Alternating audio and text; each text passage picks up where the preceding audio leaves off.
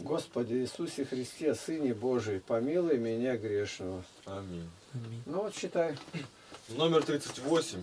Вопросы, пожелания, события дня. Задавайте вопросы. Это за прошлый 18.01.2016. день. Вот, э, мы сами до этого не могли додуматься. Надо, чтобы кто-то толкнул. Вот Колесникова Николай и Анна сделали предложение 38 дней назад.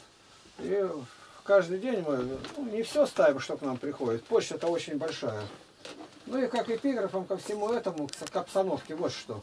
Кругом измена, трусость и обман.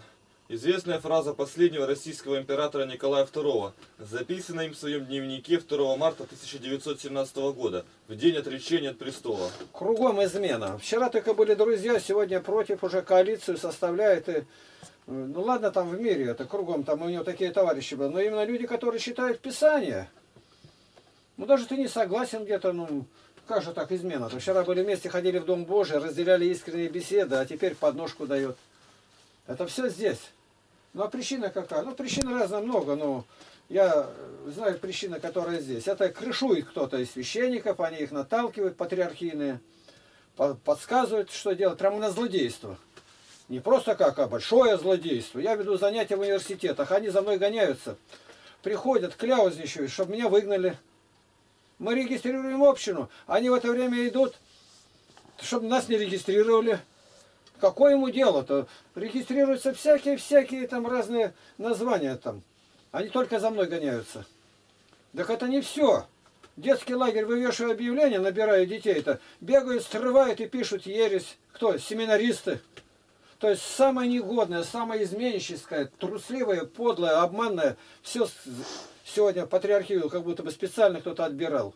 Я не хочу это говорить, ну, но обратите на это внимание это. Что дальше-то будет-то? А у нас 80 там, процентов верующих. Каких верующих-то? Из 300 человек, только которым лоб помочили, считают за только один что-то знает. Один. Это 0,3%. Это исследования прошли здесь, в Барнауле. Ну и дальше я не бываю нигде, кроме как у себя здесь. Ни ВКонтакте, ни в Одноклассниках. А модераторы сюда все перекидывают на наш форум, а отсюда берут туда. Сами заходите на наш форум. Показать надо, что какой у нас форум. Вот. Вот здесь у нас видно где. Вот он наш форум какой. Посмотрите. Так называется в Яндексе зарядите или в Гугле. Православный форум Игнатия Лапкина.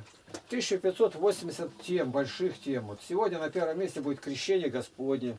Сегодня 19 января. Вот. Ну и дальше. Э, Прошу помочь. Кто-то по одному ролику брать, смотреть, кратко содержание дать. Ну и на какой минуте что есть. Вот сейчас там один работает, Николай говорит, Коля, не знаю, еще он так это. Чтобы помогли.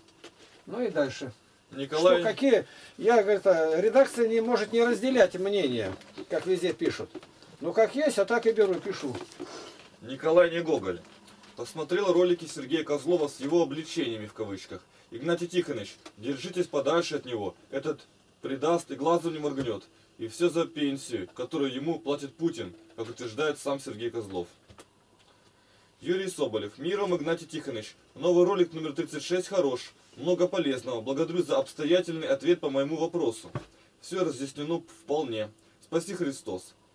Наворачивают что-то в себе, копаются всю жизнь, на матронушек лезут.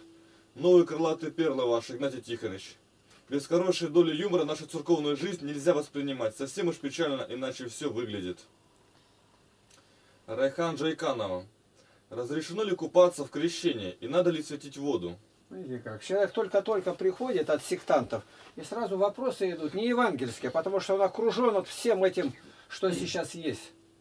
Отвечаю. Обычай купаться на день крещения Господа нашего Иисуса Христа – языческий ритуал, никакого отношения не имеющий к тому, что говорит нам Святая Библия. А воду светить нужно для разных а добрых нужд, при болезни выпить и помочить место больное. Когда воды будет уже мало, то можно до- долить простой воды, и она будет такая же, как и первоначальная. Мы вчера тут занимались Хомяковым, и мне стихотворение скинул Владимир, брат. Хомяков, поле мертвыми костями, все белелось кругом. Ветер бил его крылами, солнце жгло его огнем. Ты, пророк, могучим словом поле мертвое воздвиг, и оделись плотью кости, и восстал собор велик. Но не полно возрождение, жизнь проснулась не сполна. Всех оков земного тления не осилила она. И в соборе том великом ухо чуткое порой Слышит под румяной плотью кости щелканье сухой. Видите, как? Вот понимаешь, что он тут на- написал. О, чужие тайны зная, ты, певец, спроси себя, Не звенит ли кость сухая в песнях в жизни у тебя? Ну и кто это? Начало 1850 года Алексей Степанович Хомяков, философ. Алексей Степанович Хомяков, русский поэт, художник, публицист, богослов. Философ, основоположник раннего славянофильства, член-корреспондент Петербургской академии наук. Родился 13 мая 1804 года, Москва. Умер 5 октября 1860 года, Рязанская губерния. Супруга Екатерина Михайловна Хомякова, в браке 1836 года. Образование. Московский государственный университет. Книги. О старом и новом статьи и очерки. Еще. Дети. Николай Алексеевич Хомяков. Влад и мир. Мир вашему дому. Как снять родовое проклятие?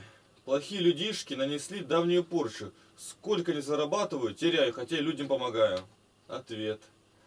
Я говорил вам уже, что мне писать можно только один раз, в две недели. Прошу не нарушить этой просьбы и не искушаться. Мне эти пикания очень мешают работать. Без воли Божией никакое проклятие не сбудется. Самим нужно жить свято и не грешить. Псалом 108, 28 стих. Они проклинают, а ты благослови. Они восстают, но да будут постыжены. Раб же твой да возрадуется. 1 Иоанна 4.4. Дети, вы от Бога, и победили их, ибо тот, кто у вас больше, того, кто в мире. 1 Иоанна 5.18. Мы знаем, что всякий рожденный от Бога не грешит, но рожденный от Бога хранит себя, и лукаво не прикасается к нему. Владимир, простите меня и благодарю за все. Александр Геннадьевич Фатеев, православный. Вы все не церковь, а секты. У нас же священство и апостольское преемство. Это он с сектантами разговаривает. А баптист ему отвечает. С Библией в руке. Сотворите же достойные плоды покаяния, и не думайте говорить себе, Отец у нас Авраам, ибо говорю вам, что Бог может из камней сих воздвигнуть детей Аврааму. Лука 3.8. Ну, прокомментировать просит вот это. Ну, в первую очередь отвечает он совершенно не по делу. Говорит о преемстве, а он о чем говорит? Тут отвечать-то нечего. Он не знает. Не знает, и какая-то сила их отводит от важнейшего вопроса. Быть церковью, это должен быть епископ. Ну, то есть признание это, рукоположение. Этого нету. А он отвечает, он берет стих Луки вообще к делу совершенно сюда не относится. Поэтому объяснять тут нечего. Юлия Долбнева. Вот именно, а клятва и обещание это одно и то же или нет? Видите, как клятва обещания. Клятва как бы усиливает обещание. Да, да, нет, нет. Да, да, все, на этом стою. Нет, значит, нет. Выполнить надо. Ну, я клятва, как правило, клянусь, слово есть там. И клянется обычно чем-то там, головой, родственниками и прочее. А обещание это легче. Это разрешается. Голуби, Просто так, это, это уже, ушло. голуби дикари, сизари. Так. Я отвечаю, вот он, что он отвечает.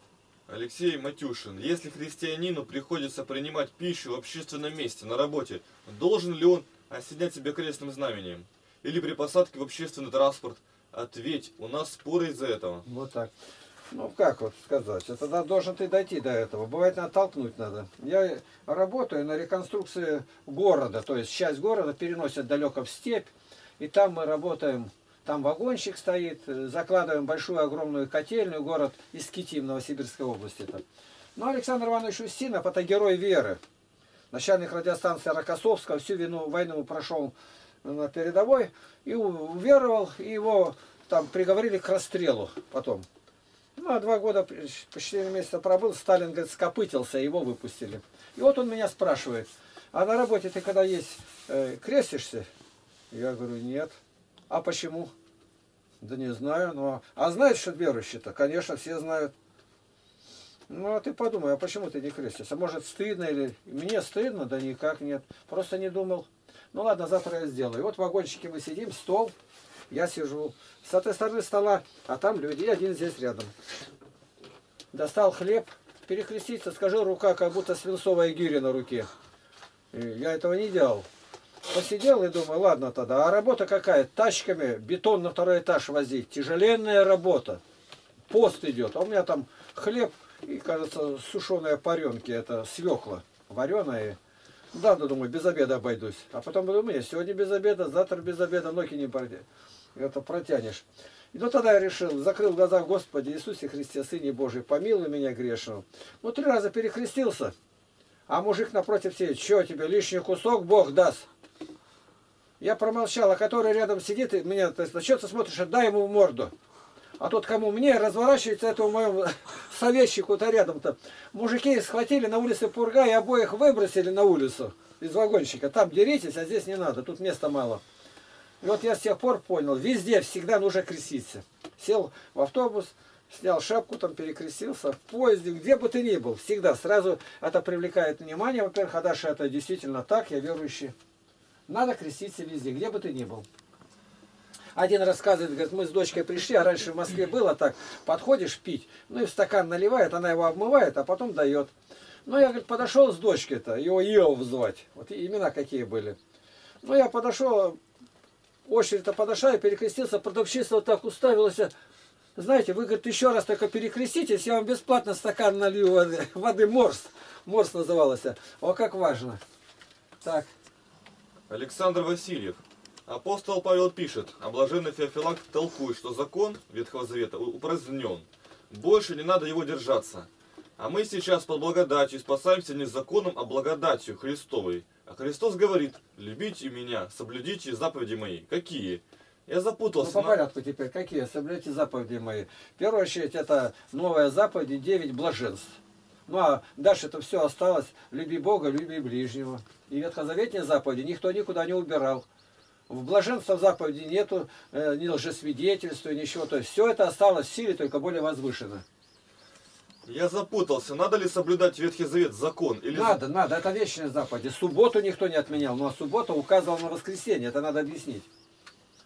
С праздником вас, Игнатий Тихонович, с крещением Господним. Прошу вас помолиться, если вам не тяжело, за меня, моего папу Николая, жену мою Инну, больше, большего моего брата Александра и болящую тетю Елену, да благословит и сохранит вас Господь. Меня поставьте на последнее место в своей молитве. О, какой. Так вот, слово Инна, это мужское имя-то. Римма, это мужское. Инна, Пина, Пина, там Рима. Ну, а сейчас это вот священник, если это женщина, он ее крестить Инной не будет. Это мужское имя, некоторые даже не знают. Дальше. Никита Колесников. Э, видео. Групповое издевательство над учащимися в колледже Рабочего поселка. э, Корсун. Ну вот посмотрите, тут вот какое есть и что делает, как бьют в школе. Дальше. Павел Кривушкин, Минск. Поиск пути к истине. А это мы ролик вчера составили.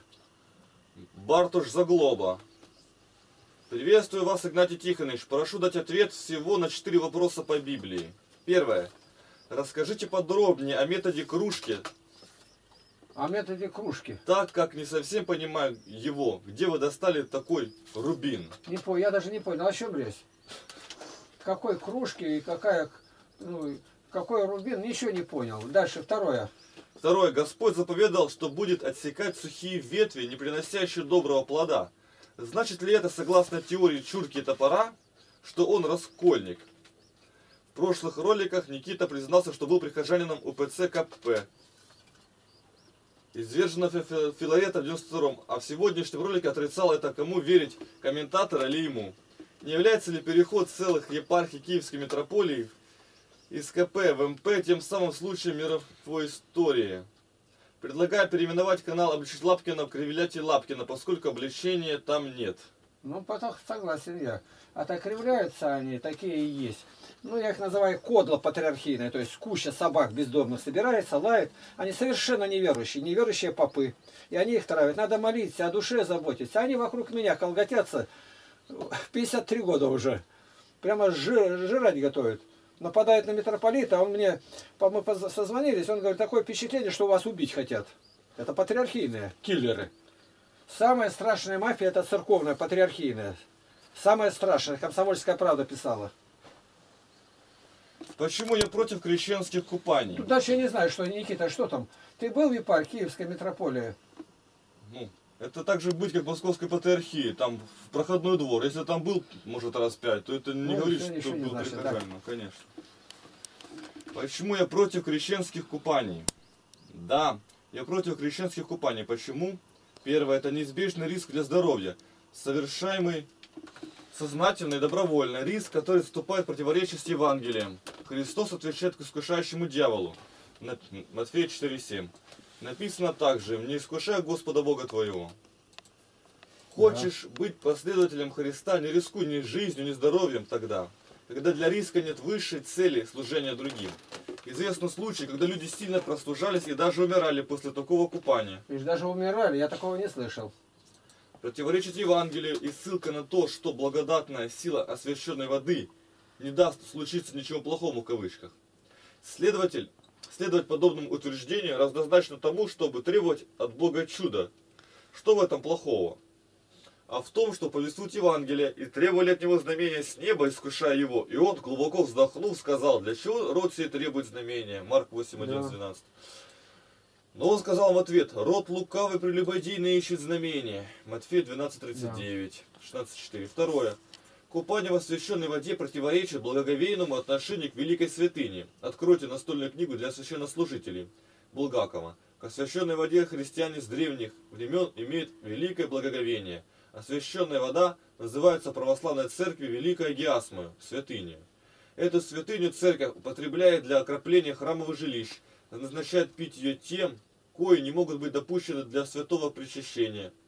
Благочестивые христиане тоже издревле имеют обычай на вечере или в самый праздник крещения почерпать освященную воду для своего домашнего потребления и хранить ее при святых иконах. Видите, издание какое? 1913 года, страница 21. Видите, Это, это все объяснено.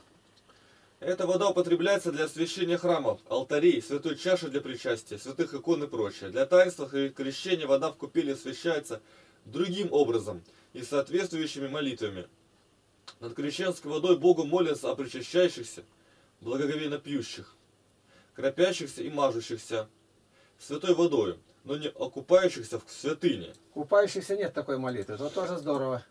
Для меня купание в Иордане в кавычках ассоциируется с неприятными слухами о том, что якобы где-то на молокозаводе баба купалась в цистерне с молоком и с былями об особой категории людей, принимающих ванны с шампанским. Кстати, эта когорта повсеместно участвует в крещенских купаниях.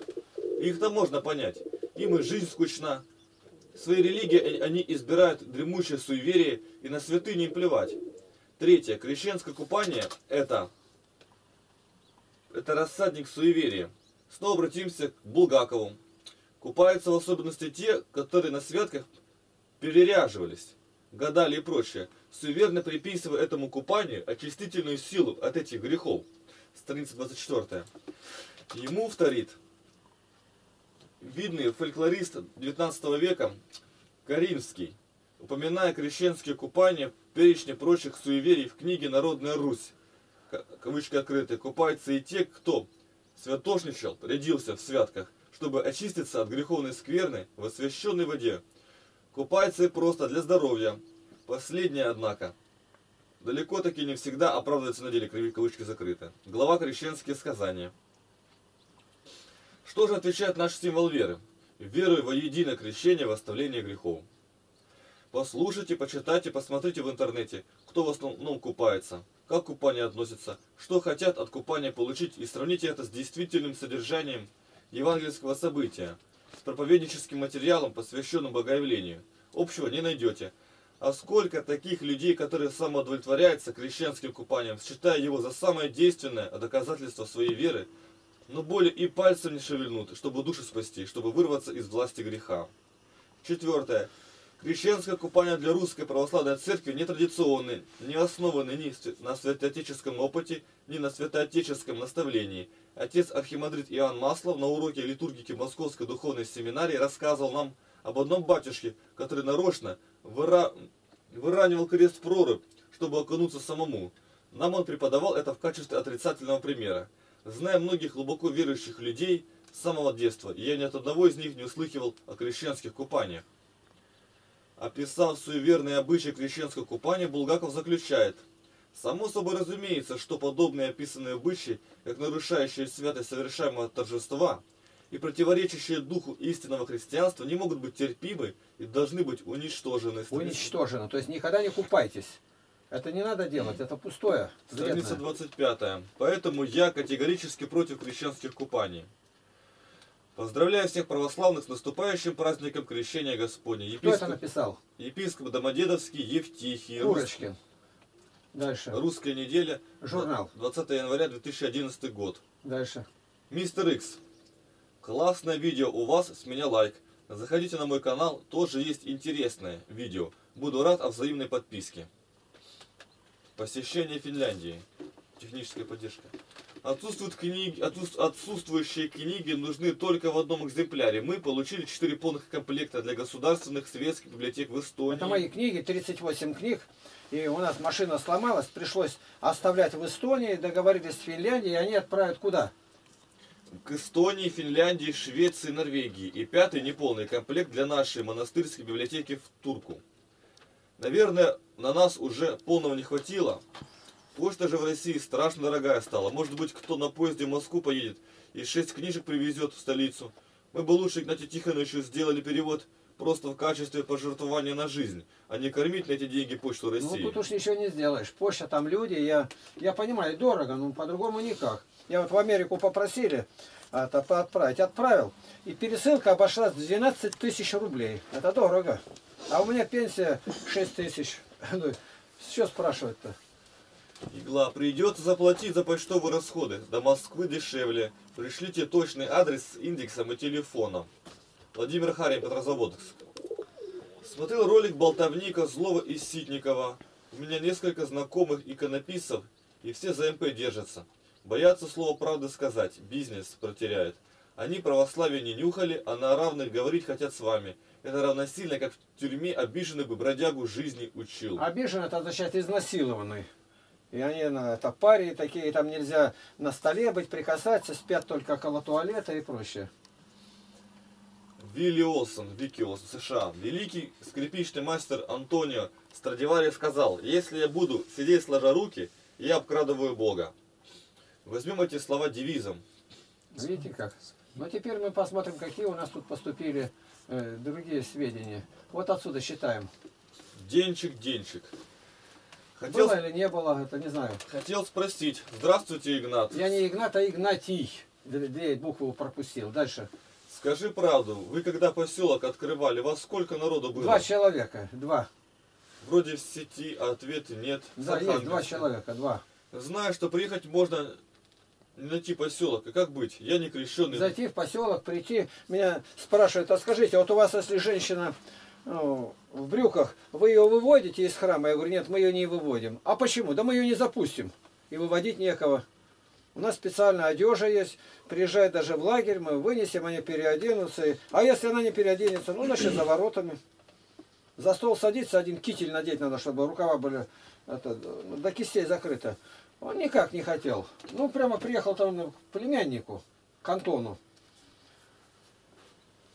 И видите, что уже заканчиваем обедать. Ну ладно, давайте. Такой упорный мужик, здоровый. Поехал куда-то в Чечню, потерялся. По сегодняшний день уже лет 15-20 нету его. Максим Федотов, родной город Иваново. Уважаемый Игнатий Тихонович, ответьте, пожалуйста, на вопрос. Ваше отношение к Всеправославному собору. Что нам, православным людям, ждать и как нам реагировать на принятие собором решений? Спасибо.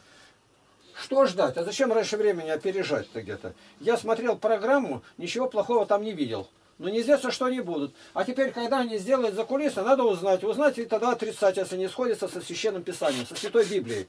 Вы сами определяете. Еще ничего нету.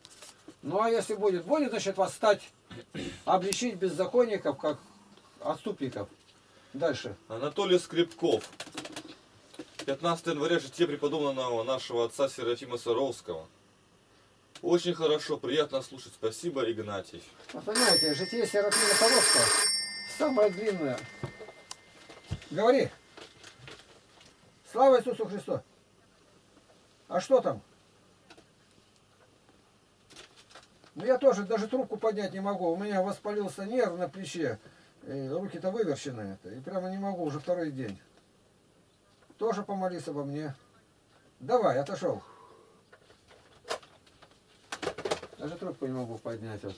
Сама Серафима Саровского тоже. А тут жития святых выставляют сейчас. Ну, нравится людям это. 1173 жития. 80-е годы я их насчитал. Вот Серафим Саровский. Самое большое по, по объему 50 или 60 даже страниц. Апостол Павел вместе с Петром 12 страниц. И вот сколько надо, это сколько же надо написать-то? И откуда? Его ни один не хотел Серафима Тосоровского канонизировать, ни один архиерей. Царь приказал и канонизировали. Больше ничего не было. И с каждым годом все больше, что он воскреснет, и откуда еще его берут-то, и зачем? Мотовилов сказал там, я люблю, да ну пускай будет так. Вот обрели мощи, я в это не верю. Какие мощи там? Нашивка маленькие там по нарукавникам якобы определили. Ну, можно все говорить, только отвечать перед Богом надо будет. Дальше. Что тут такое мелкое? -то? Здравствуйте. Интересует такой вопрос. Бытие, книга Моисеева, 16-17 стих. И заповедал Господь Бог человеку, говоря, от всякого дерева в саду ты будешь есть, а от дерева познания добра и зла не ешь от него, ибо в день, в который ты вкусишь от него, смерть умрешь. Геннадий Тихонович, прокомментируй, пожалуйста, ибо я не понимаю совсем, что за дерево познания добра и зла. Я не понимаю, его никто не видел. А что узнали? Ну, они съели и узнали, слушаться Бога хорошо, а не слушаться плохо. Вот и все. Ну, а дальше все умирают через это. Добавлено, Игнатий Тихонович, как вы относитесь к развитию родовых поместий и экопоселений, вегетарианских сообществ, ведрусов и так далее. Я ну, счит... это, когда говорят родовые, все это родноверы, которые называются язычники, к этому. Да берите несколько человек и идите, еще тут родовые. Это какие они, откуда родовым быть, когда десятое поколение в городе живет? Я считаю, что этот проект, прекрасный проект анастасиевцев для рождения здоровых детей в здоровой экологической да, среде. Да. В сравнении с мерзостью и пакостью и супергреховностью городов, где потерять своего ребенка в прямом смысле легко и просто. Несмотря на так называемую культуру, архитектуру, образованность и даже церковность, уж простите, я считаю, что сегодня как нельзя подходит ваша запись кругом предательства, обман и трусость. Но это касается только городов. Это всех касается, везде. Везде, в семьях, муж жену обманывает, и везде измены. Дети. Это проклятие над Россией. Измена, трусость и обман. Для того мы находимся на земле. Временное пристанище, подготовка для будущей жизни. А другое, если так можно выразиться, параллели. Самый большой грех, совершенный людьми на сегодня, это города. Технически... Нет, самый большой грех, не веря в Сына Божия. Придет, говорит, Дух Святой обличит о грехе, что не верует в меня. А это в городах нет. И в городах можно жить свято. Ну, конечно, детей не воспитать. Лучше вот у нас деревня православная, все верующие.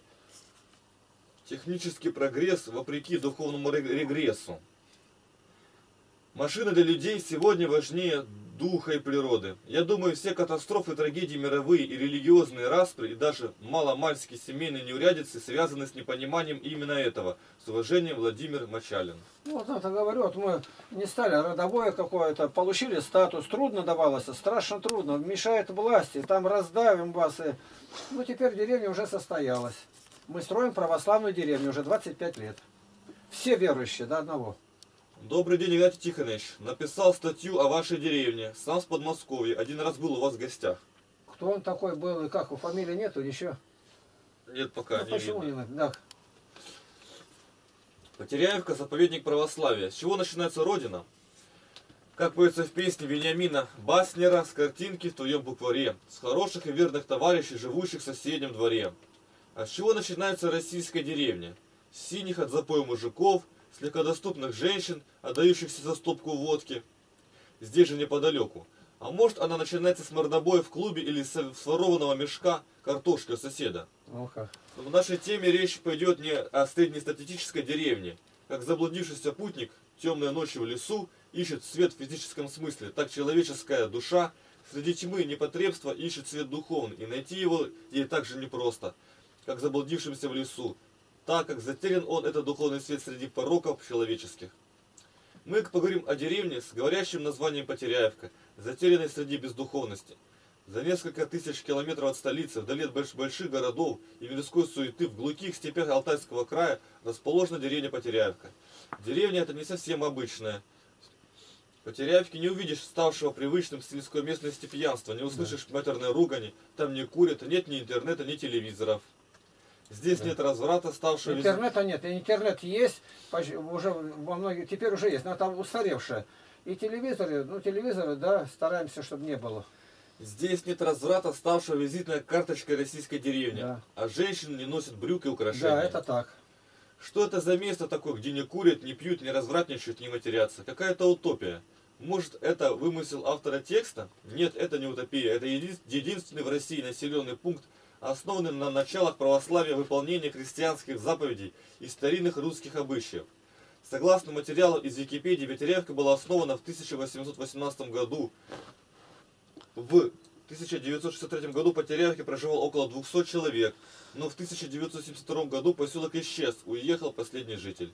С тех пор Потеряевка была заброшена, пока в начале 90-х годов 20 -го века православный миссионер-проповедник Игнатий Тихонович Лапкин со своим младшим братом, священником отцом Игнатием Лапкиным, Иакимом.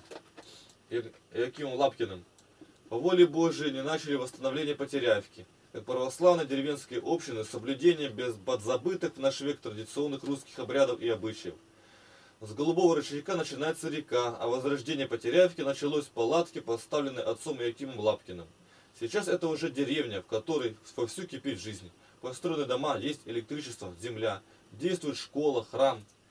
Экономическая жизнь деревни строится на подсобном хозяйстве и огородах, разводят пчел. Жизнь здесь регламентирована уставом, в котором прописаны все правила, необходимые для соблюдения жителями-членами православной общины.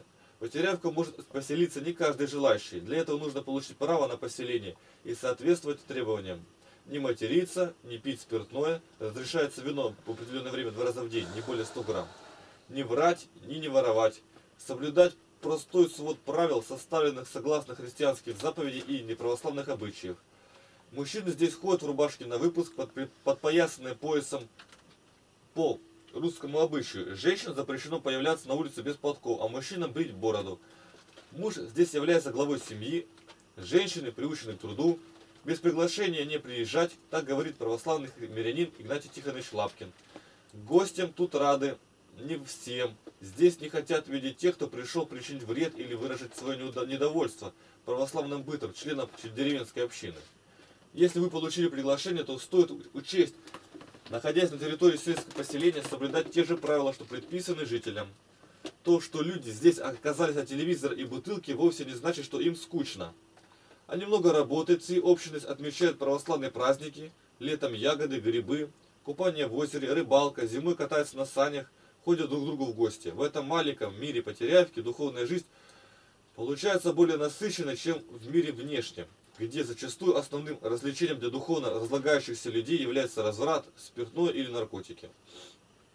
А все остальное, как производное от них – Общество стремительно движется к своему безбожному первобытному состоянию, когда курящие, пьющие, ведущие непотребный образ жизни люди, сами того не замечая, становятся эстетически невостребованными. Можно наносить несколько слоев косметики, отбеливать желтые от дыма сигарет зубы, принимать молочные ванны, придав как бы себе внешний облик, маскируя тем самым свою физическую дисгармонию. Но как не маскируя внешне, внутри сущность остается такая же, так как чистота физическая сходит от чистоты нравственно-духовной. В этом смысле простая, основанная на истинных христианских началах жизнь потерявки, является принципом физической красоты и гармонии через духовное очищение.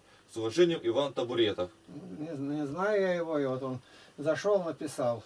Ну, действительно так.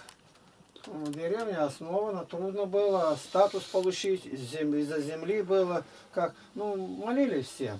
И рядом была деревня, где-то там подальше, тоже начали строить, но там богатый человек, он приехал, грузовых, кажется, 48 машин, а у нас только один велосипед ржавый купили. Ничего не было. Там разрушилось до основания, двухэтажные дома уже строили, пить начали, блудить, воровать, ну как везде. А корреспондент ездил, Галенко Влад, туда и сюда. Ну что интересно, вот, а по Теряевке, кто бы не касался, вот пишут, допустим, Влад написал, ну он э, является штатным сотрудником краевого УВД корреспондент. Первая премия от Останкина. Начали писать, фильм ставить, когда мы начали. Первая премия на международном киноконкурсе. Второй фильм снимает «Златоуст из Потеряевки». Первое место на документальных фильмах по православию в России. Вот еще бы только не коснулось. Фотограф приезжает, делает. В Рио Новости занимает первое место. Это значит, в душах у людей есть то, что откликается. Ну, дальше. Владимир Мачалин. И еще один вопрос. Возможно ли родиться свыше или получить возможность для роста свыше, если на тебе хорошее количество смертных грехов? Что? Но? Он спрашивает, можно ли родиться свыше, если на тебе много смертных грехов? В основном благодейство и прелюбодеяние, ибо я женщину поставил выше Бога и соблазнялся ее и многих других. Содом и Гомору чуть не натворил. Кошмар. Осознаю только сейчас. Спасибо. Ну, родиться свыше, значит, прежнего ничего нету. Навсегда возненавидеть. Любящие Господа, ненавидьте зло. 96-й Псалом, 10 стих. Возможно. Галина Юдина, 53 года. Город, село Малояс, Салаватский район. Доброй ночи, Игнатий Тихонович. Простите меня, что так поздно отвлекаю вас. Сегодня просмотрела фото вашей православной деревни. Одновременно была и удивлена, и восхищена увиденным. Я даже не подозревала, что где-то так живут по-христиански. Ведь я живу в Башкирии, это мусульманская республика, и у нас никогда не было церкви. Незадолго до смерти мой отец был первым инициатором строительства храма. Ушло на это два года мытарств. мытарств. Но с Божьей помощью церковь построил он. Был старостой, пришлось ему неграмотному изучать устав церкви. Я рада за него, что хотя перед кончиной он обрел путь к Богу. Я тоже стремлюсь к познанию христианства, читая книги подвижников, старцев, но мне много не ясно, например, как можно после святого причастия, идя из церкви, осуждать кого-либо. Я всегда подсознательно стремилась к истинной вере. Я была очень хотела узнать не ради любопытства, как живут такие необычные в моем понимании, понимании люди, красивые, пристойно одетые чем занимается в свободное время вообще. Хотела узнать о деревне. Я бы хотела так жить, потому что у нас христиан, мягко скажем, зажимает. Приход держится на энтузиастах, служба бывает только по воскресным дням, а батюшки часто меняются. А духовного отца нет, зато у прихожан есть в нем большая потребность. Хотя бы в башкирском селе христиан очень мало, простите за сумбурность письма, и за время, которое я вас отняла. Ну что ж отняли так, ну что сказать-то, надо просто считать, мы много роликов ставим, у нас ничего этого нету, чтобы там это шлифовали, а вот как есть, так и есть. И вот те, которые там вокруг-то бегают, там что-то говорят, пакостные слова, но они-то ничего не создали, у них ничего нет. Создайте деревню, создайте детский лагерь, хотя бы приблизительно, но кому отвечать-то, когда же даже, ну ничего нету у них. Сергей Густав, 46 лет, город Туймазы, Туймазинский район, пишет, слава богу, день добрый. Брат Игнат, скажи, вы почитаете Авакума? Какого Авакума? Не по... Если Протопоп Авакум, у старобрядцев это фильм «Раскол» есть. Есть вот Архимандрит Авакум, про... есть э, пророк Авакум. Кого? И старообрядческого уклада жизни сегодняшнего ну, бытия. Как это? У него есть такое, что хорошее, а есть такое, что неприемлемое. Вот эта свирепость. Я называю свирепость старообрядческая. Уже сидит, уже приговоренный, и теперь деготь вылети на, на гроб Алексея Михайловича. Ну, тут совершенно не, нет ничего это христианского. Иван Каминский, 22 года. Так, Для... ну что старобрядческий уклад жизни сегодня, бытия? Я просто не знаю. Старобрядцы это пьют. Это пьют, все время пьют. Это просто одна из пьяных деревень. Да, это хорошие люди, труженики пьют. Игнатий Тихонович, скажите, почему вы молитесь иконам? Ведь в Библии сказано, «Я Господь Бог твой, который вывел тебя из земли египетской, из дома рабства, да не будет у тебя иных богов пред лицом моим». Да. Не делай себе кумира, никакого изображения того, что на небе вверху, и что на земле внизу, и что в воде Ну понятно, не любящим исход, то другое. Это иконам как молятся иконам? Мы перед иконами, значит, мы молимся Богу, первообразу, который изображен. А то, что изображение не сделали никак, а как же Херувимов сделал? 20 главу берут, а 25 не считали. А Христос пришел в храм Зарвавелев, то он весь был в иконах. Изображение экон. Где? От пола до потолка. Почитайте. 41.17 Иезекииля. Прочитайте. Это узость сектант. Что такое секта? Узость взгляда на истину. Юлия Ученик пишет. Ты самый лучший. Спасибо, что Господь послал именно тебя. А кому это она говорит, непонятно. Здравствуйте, Игнатий Тихонович. С праздником Крещения Господня. Спаси Христос и вас также. У меня спрашивала девочка, она говорила, что она не видит Бога и поэтому не верит в Него. Я объяснил ей тем, что существует электрический ток, радиоволны, которые мы тоже не видим, но они есть. Как мне ее убедить, что Бог есть, и как мне реагировать на то, что мои одногруппники подкалывают и задевают меня насчет моей веры? Ну, терпеть надо, терпеть, потому что хорошо смеется тот, кто последним смеется, еще впереди будет. Э, суд Божий, неверующий Богу представляет его лживым. Дьявол, бесы веруют и трепещут. Это хуже бесов люди. Не веруют и не трепещут. Александр Гавриков. Я всегда ищу в людях только хорошее. Плохое они сами покажут. Пишет. Спаси Христос. Здравия вам, Игнатий Тихонович. Возможно, страничка от вашего имени, но обращение мое к вам, как прежде всего. Благодарю вас От души восхищен вашим делом. Сохранение русской культуры и веры главное, чем я тоже искренне увлечен. Я русский плотью и воспитанием, живу с нерусскими. Ощутимо поражение в правах. Правах. Родни- правах. Ага. Родни и поддержки нет. Вспоминается напутствие Шукшина. По, по сути тоже, но с светскими художественными словами. Кавычки открыты. Знай больше других, работай больше других. Вот вся судьба. Это нелегко, это на всю жизнь. Но ведь и помним-то мы, и благодарны таким только. Кто бы ты ни был, комбайнер, академик, художник, живи, выкладывайся весь без остатка, старайся знать много, не жалуйся, не завидуй, не ходи против совести, старайся быть добрым и великодушным. Это будет завидная судьба. А когда будешь таким, помоги другим. Я знаю, как это нелегко. Я, может быть, тоже размечтался. Очень хочется, чтобы так и было. Кавычки закрыты. Надеюсь стать вашим собеседником. Александр, заходите, чтобы это э, прямо сюда заходите сами, без перекладных. Вы, я не знаю, ВКонтакте или где он, это модератор перекидывает. Дальше. Серафим Афонский. Беда в том, что люди больше любят мир, в котором счастья нет, чем Бога, который поистине есть вечное счастье. Видишь как. Игнатий Тихонович, спаси Господь за ваш труд, за доброе слово и за исповедь веры. Сейчас следующую страницу перекинем мы. Вот. Татьяна Глухова. Игнатий Тихонович, здравствуйте. Прошу прощения, что беспокою вас. У меня сегодня очень сложный экзамен. Прошу вас, помолитесь за меня, раба Божья Татьяна. Мы помолились, я когда стал считать, сразу же стал молиться об этом. Ну и дальше вот. Это более ранее. Дмитрий Иванович Байрактар, город Килия. Ну, старообрядец, он говорил. Дорогой Игнатий, это о вы говорите, что они невежественны? После раскола грамотных старобрядцев было более 80%, а никонян около 5%. Все нормальные старобрядцы Евангелие знают и почитают. Ну уж это хватило через край Евангелия, знают, почитают. Старообрядцы.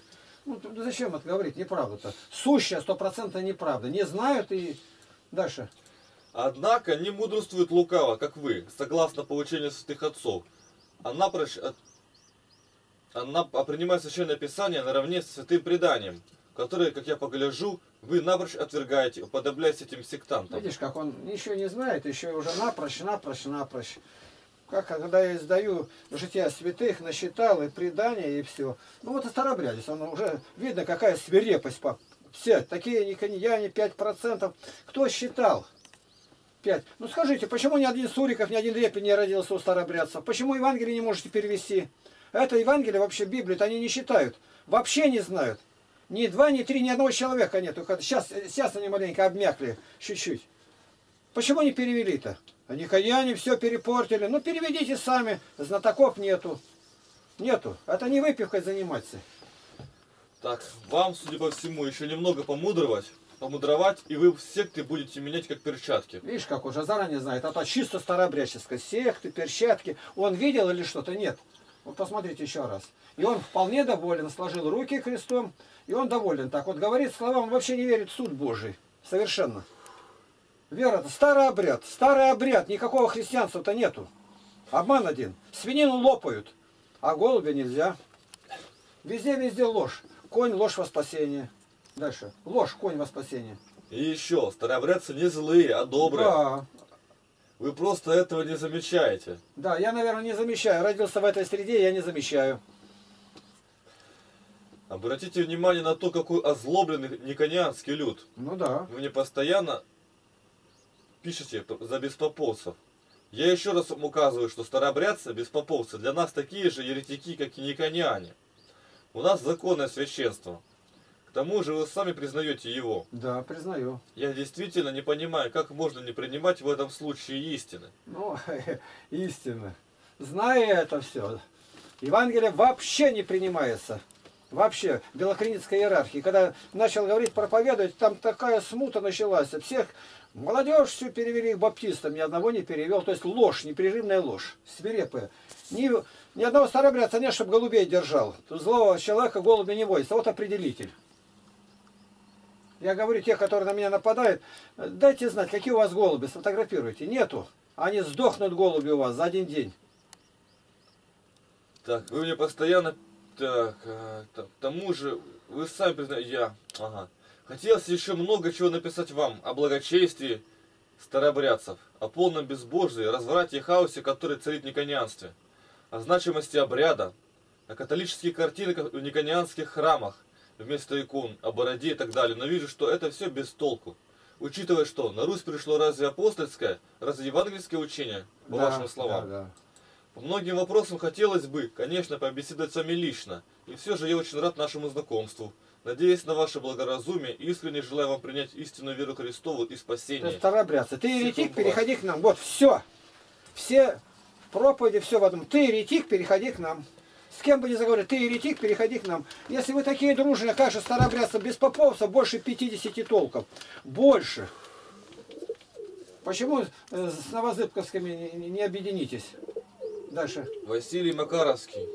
Ну, это я был в Москве, это игумен Сахаров, Кирилл. Это батюшка его, вот я стою переодетый. Пишет, ух ты, это ж отец Павел. Вот так. Александр Ломакин, город Белокуриха. Да. Иван Тихонович, вы не знаете, как темную энергию из головы убирать?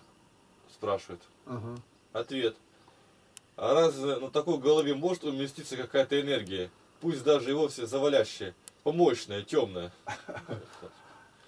Яков 3.15. Это не есть мудрость, нисходящая свыше, но земная, душевная, бесовская. Притча 28.1.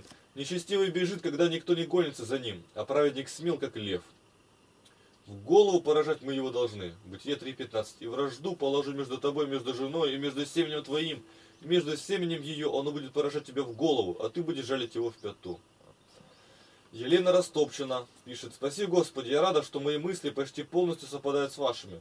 Я вам очень благодарна за ваш ответ. Мне было мне бы только хотелось добавить одно. Ермонах Абель оставил через императора Павла I завещание потомкам, вскрыть через сто лет.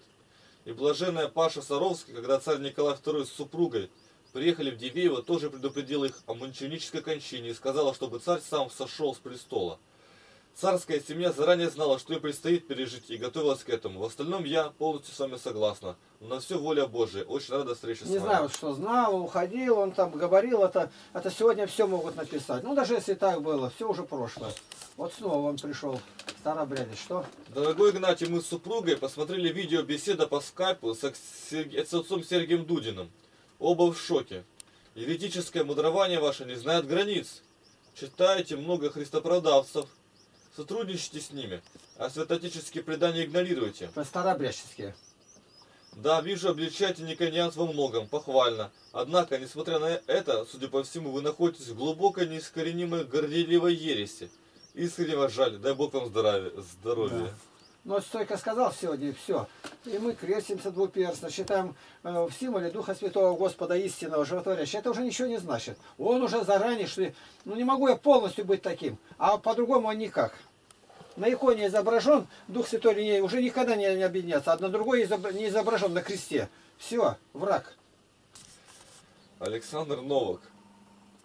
Спасибо Божьей помощи вам и покрова Царицы А Небесной. то мне говорят, вы выбираете, что вам нравится, не нравится, подряд. Вот видите, какие отзывы дают там, и горделивые, и прелести, и ереси. Ну, сами уже решайте. Батюшка Игнатий, мне очень плохо на душе, я не хочу жить, Аня. Ну, ничего не понятно, помолились и все. Отец Сергей Дудин, город Северск. Добрый вечер, Игнатий Тихонович. были хорошие отношения когда-то. У вашего сайта есть очень серьезный технический недостаток. Нет поддержки мобильной версии сайта. Очень много пользователей с интернета сейчас уже не пользуются ста- стационарными компьютерами. Даже ноутбука уходят на второй план. Все масса переходят на мобильные устройства, на смартфоны и планшеты. Я, например, часто выхожу все через смартфон или планшет. Ваш сайт очень сложно читать и изучать на мобильных устройствах. Порой некорректно отображается информация. Усовершенствуйте ваш сайт поддержкой мобильной версии, иначе вы теряете многих пользователей мобильных устройств. Когда мы создавали наш храмовый сайт, нам в епархии поставили обязательное условие поддержки мобильной версии. Мы это с успехом сделали. У нас одновременно автоматически поддерживается и стационарная версия, и мобильная версия. Эту информацию передайте вашему веб-программисту. Далее информация для вашего веб-программиста. Мы создавали наш сайт на веб-движке WordPress, который это все умеет делать. Ну ладно. Ну дальше, видите, какие были хорошие отношения. Трусосизм сделался врагом самым лютым. И ничего, я ничего не делал. Почему? Патриархия. Ложь, тройная ложь везде. Вчера такие советы давал, все. Не встречались год, и вдруг выходит совершенно уже, как говорится, Вместо крыльев уже, говорится, перепончатые крылья выросли. Как это так? Мария Бабкова. Благодарю, Игнатий Тихонович. Ну, не знаю, что тут дальше. Валентин Притула. Город Киев. Мобильный телефон. Потеряевка, заповедник православия. Очень красивое видео пишет. Вот. Сейчас сразу переходим на другую страницу. Дальше. Руслан Куценко. Город Эйштадт, Германия. Господин Лапкин, неужели состояние русского православия действительно находится в таком плачевном состоянии? Я живу в Германии и учусь в католическом университете.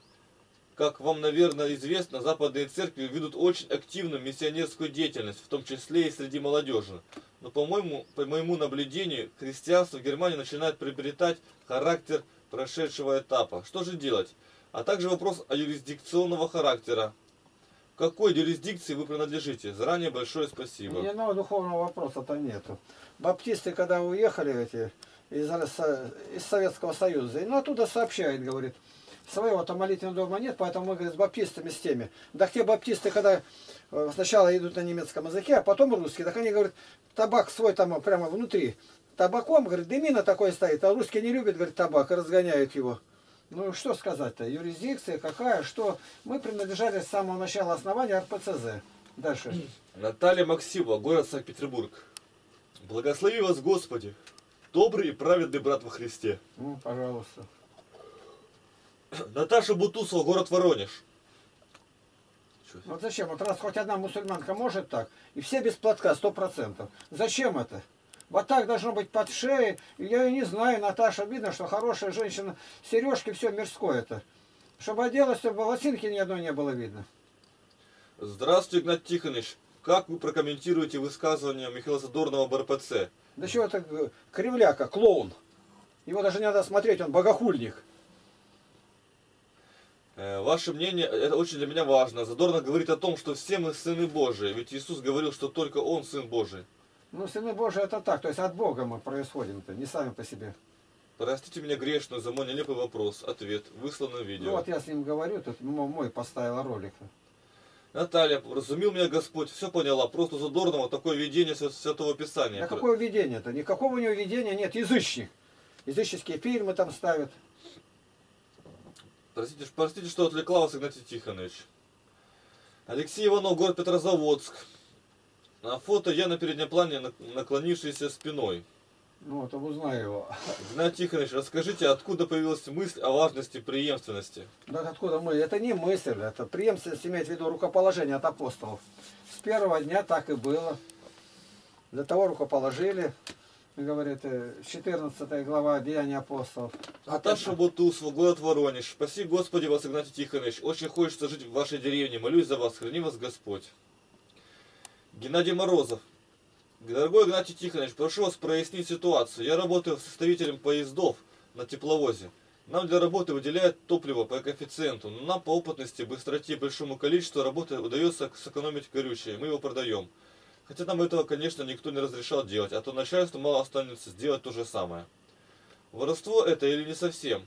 Я думаю, что воровство, поэтому как ревностный православный два раза отказывался в этом участвовать по, по году но не выдерживал давления жены и опять брался за старое. Так, зарплата у нас все ниже и ниже. 70 тысяч. Видите, как так можно найти всегда где-то. Ну хорошо, вас узнали, захлопали, что дальше будет? Вот мужики, я обратился сейчас, Михаила Александровича Еремеева, получил Библию. Они шоферами ездят. Ну и там где-то как-то сэкономят, другую дорогу более короткую знают. А теперь они пристроили там как-то накручивать километры, чтобы были, а бензин там во, во враг зали... сливают, не продают, а сливают. Но он это увидел, это дело, говорит, а я не буду, я говорит, скажу, сколько есть. Так, ты кончай, мужик. Это мы ты нас всех поставишь на это. Или уходи, или тебе мало не покажется. То есть и пришлось ему уйти. Воровство. Лариса Соколова город Казань. Игнат Тихонович, спасибо за ваше благородное дело. Очень рада, что подружилась с вами давно. Желаю встречи с такими, как вы, людьми. Ярослав Вишневский. Отец Игнатий, здравствуйте. Я в прошлой жизни страшный грешник. Благодаря Богу я не попал за грешетку. Я подумываю о духовной семинарии, но боюсь, этот труд не стяну. Ну, я сказал, зачем тебе это нужно? Дальше. Это ответ Куценко. Как... Феофан Затворник, вопрос-то прочитать? Ну там что, там мы говорили, впереди там было это. Что там написано?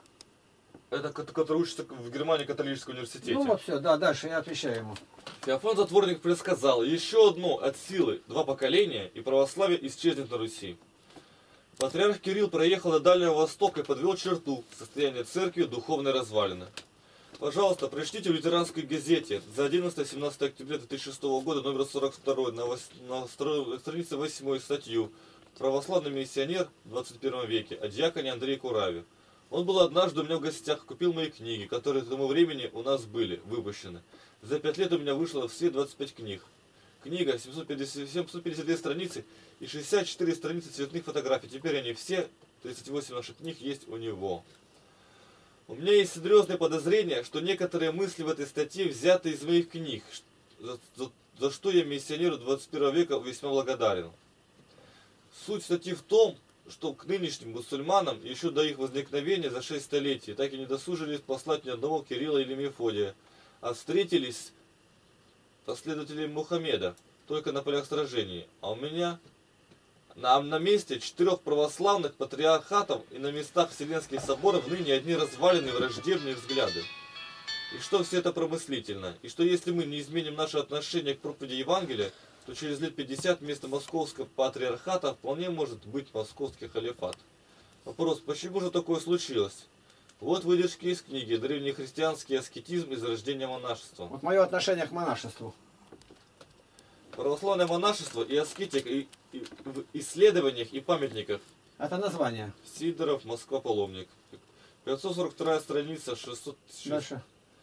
Последующая судьба Египта показала, что в этой колыбели иночества, где оно принесло и лучшее... Четче произноси слова, громче.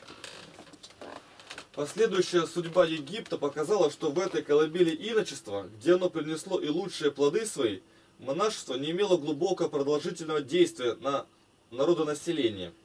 Египет скоро отпал от православия и потом, под владычеством аравитян, почти совсем утратил христианскую веру. Нельзя не признавать того, что весьма значительное по числу удаление ревностных христиан в пустыне, где они кончали свое поприще без потомства, должно было отозваться ослаблением христианского элемента в самом народонаселении. Прочтите эти строки хотя бы раза три. Тут не иудеи виноваты, а мы. Уже прощаясь, уходя с земли, Христос дает и один единственный наказ. Марк 16:15. Идите по всему миру и проповедуйте Евангелие все твари. Лука 24:49. И я пошлю обетование Отца моего на вас. Вы же оставайтесь в городе и Иерусалиме, доколе не влечетесь силою свыше. И для чего же нужна была эта первая монастырская жизнь с закрытыми дверями в течение всего лишь десяти дней? Да, да, слушай. Чтобы облегчить силой Духа Святого пойти с проповедью Да, Евангелия по всему набрали. миру, что выше и сказано, Деяние 1.8. Но вы примете Нет. силу, когда сойдет на вас Дух Святой, и будете мне свидетелями в Иерусалиме Ну, и во всей Иудее и Самарии, даже до края земли. Но горы рыть по пещеры, создавая пещерное лжехристианство, а нести всякую весть, Святую весть.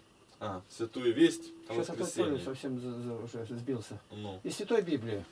И Святой Библии без преемственности рукоположения от апостолов Христовых и нет Церкви Христовой.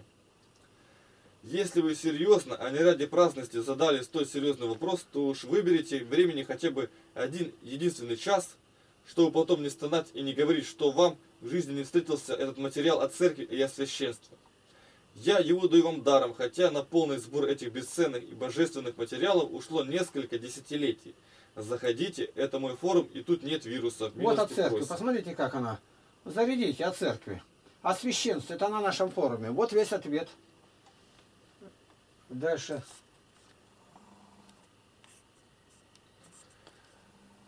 Так, э, хочется жить в вашей деревне. О деревне там, о деревне. Ответ для вопрошающих. Читайте эту тему, все пять страниц и нижестоящую тему «Деревня Потерявка». Большинство вопросов отвечены в этих темах. Еще раз повторим, что крышу над головой сегодня могут получить сразу около 70-80 человек, поселившись в пустующие дома и на квартиры в обитаемые. Это уже нету, было раньше.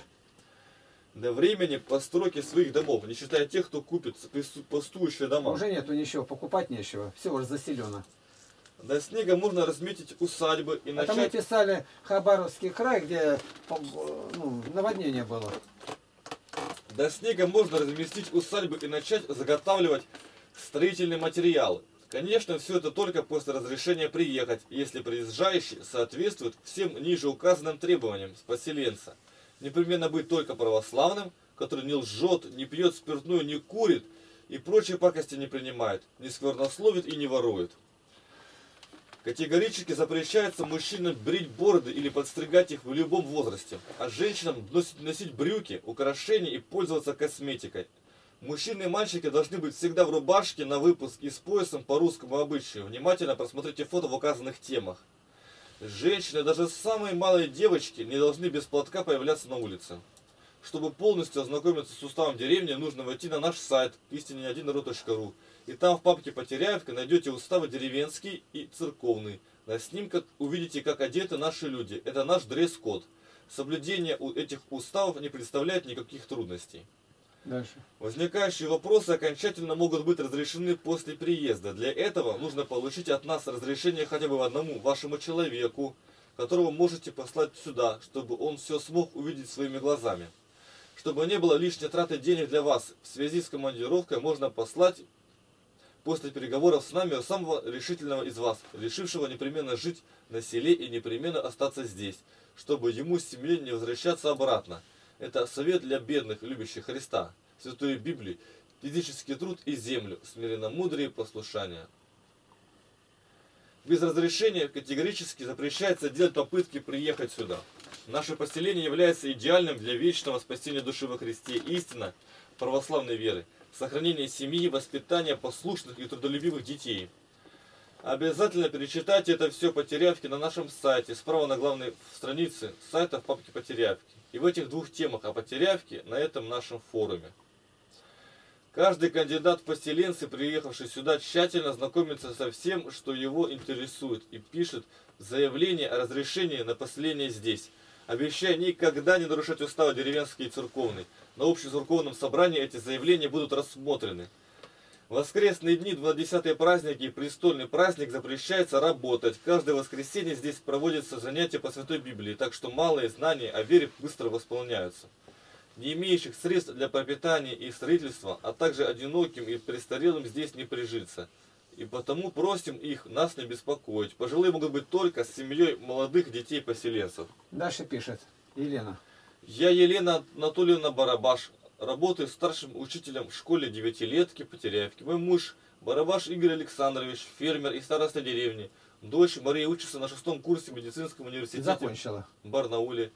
Сын Терентий в политехническом университете на строительном факультете. Сын Иеремей Ерема учится в шестом классе. Дальше.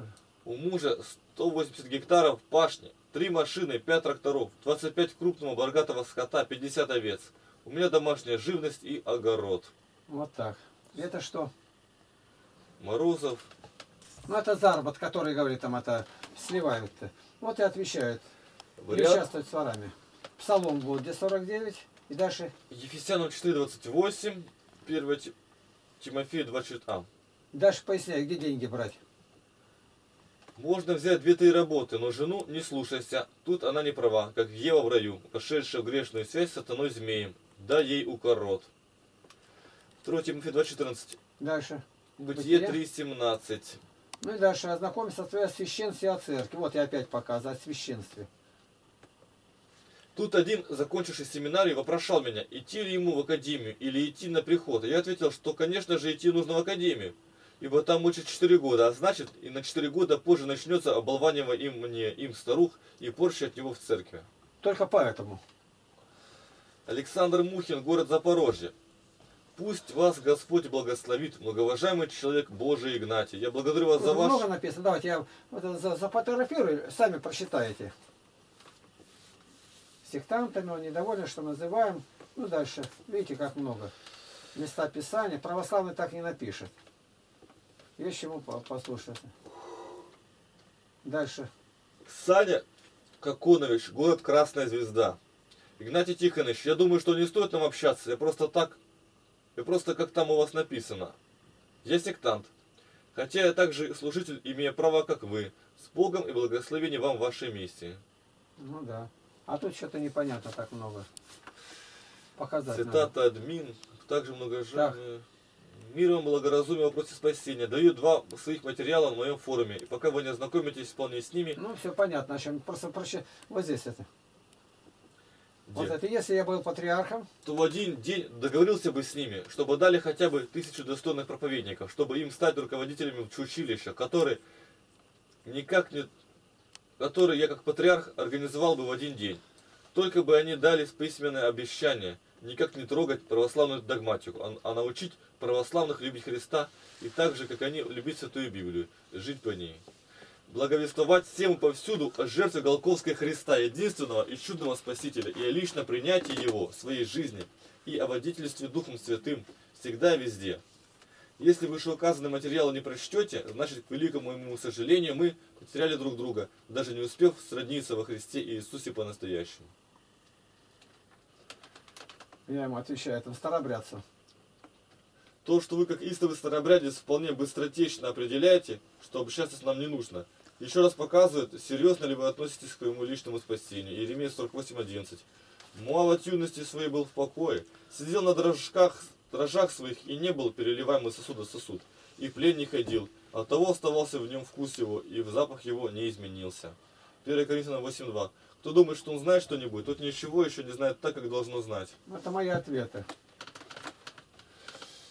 Игла поясню, что никогда и нигде не говорил, что спасение только в православии спасает Бог, но на определенных условиях, им же выставленных.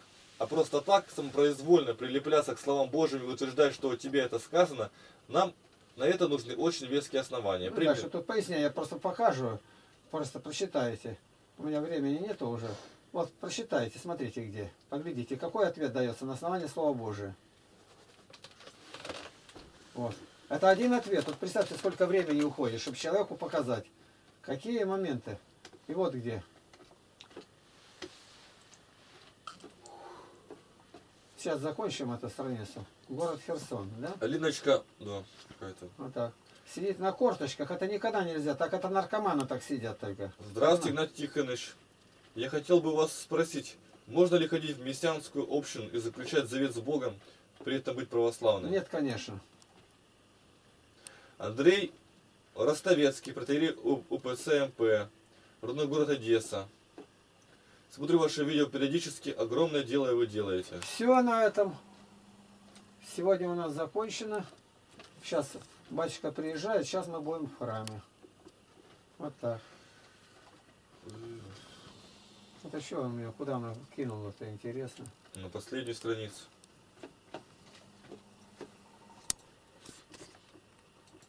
Это что же она, куда?